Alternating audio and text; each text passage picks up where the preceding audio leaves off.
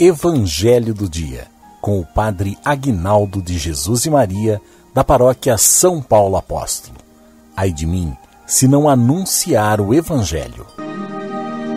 O Senhor esteja convosco, Ele está no meio de nós. Proclamação do Evangelho de nosso Senhor Jesus Cristo, segundo João. Glória a vós, Senhor.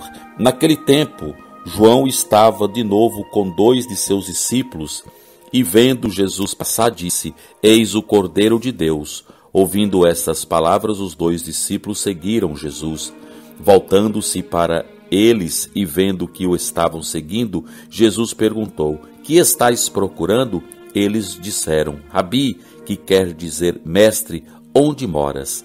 Jesus respondeu: Vinde ver. Foram, pois, ver onde ele morava e nesse dia permaneceram com ele. Era por volta das quatro da tarde. André, irmão de Simão Pedro, era um dos dois que ouviram as palavras de João e seguiram Jesus. Ele foi logo encontrar seu irmão Simão e lhe disse: Encontramos o Messias, que quer dizer Cristo. Então André conduziu Simão a Jesus. Jesus olhou bem para ele e disse: Tu és Simão, filho de João, tu serás chamado Cefas, que quer dizer Pedro palavra da salvação. Glória a vós, Senhor. Que a palavra do Santo Evangelho perdoe os nossos pecados em nome do Pai, do Filho e do Espírito Santo. Amém. Amados, que tremendo esse evangelho. Primeiro, porque João aponta para os discípulos dele e fala: Olá, né? o Cordeiro de Deus. Olá, é aquele que tira o pecado do mundo. Olá, é aquele que é o Salvador né? Isso é que é discípulo bem treinado, né? Imediatamente eles nem perguntaram nada, já foram e seguiram Jesus. Agora, amados, o que é, o que é tremendo desse evangelho, que eu paro para pensar e fica até bobo, como diz o mineiro, é que André era um desses que começou a seguir Jesus, né? E ele seguindo Jesus, é, ele ficou tão impactado que ele foi lá na casa dele e falou pro irmão dele: Rapaz, eu, eu conheci ali um homem ali, eu, eu tenho certeza que ele é o Messias, que ele é o Salvador. Vamos lá, vamos lá. Então André, olha, André mudou a vida de Pedro. André mudou a vida de Pedro, porque foi André que levou Pedro até Jesus.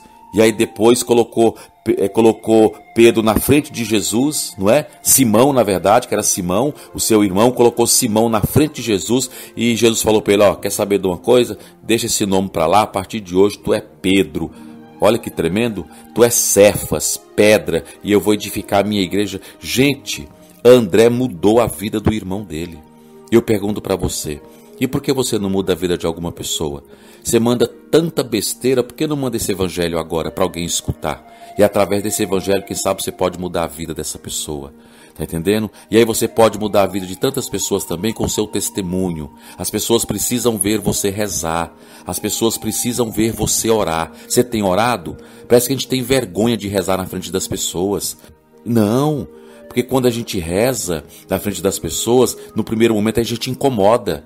Pode ser até que falam uma piadinha da gente, não importa, não importa. Mas no segundo momento, as pessoas vão também querer rezar, vão aprender a rezar, vão pedir até para você ensinar elas a rezarem. Olha que tremendo. Vamos fazer como, como André então? André fez isso. André conheceu Jesus e levou Jesus para o seu irmão Pedro.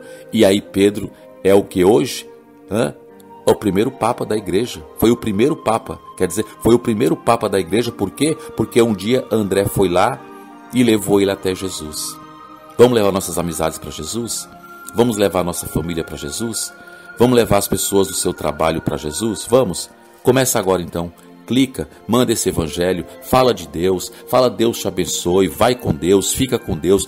Vamos falar mais de Deus, porque eu tenho certeza que lá na frente uma pessoa vai agradecer você depois. Olha, obrigado, eu estava tão triste, eu estava tão cabisbaixo, eu estava tão assim, e você falou de Deus. Tá tão tá fora da moda falar de Deus. A gente fala até de livro de autoajuda, menos de Deus. Vamos começar a falar de Deus? Ele pode ajudar muito mais do que qualquer livro de autoajuda, porque ele é a verdadeira ajuda, ele é aquele que salva, ele é aquele que cura, ele é aquele que liberta. Vamos falar de Deus para as pessoas?